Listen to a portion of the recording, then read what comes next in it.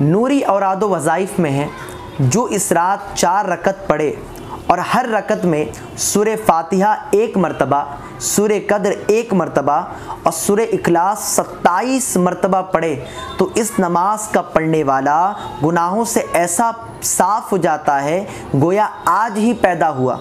और अल्लाह तबारक व ताली उसे जन्नत में हज़ार महलात अता फरमाएगा।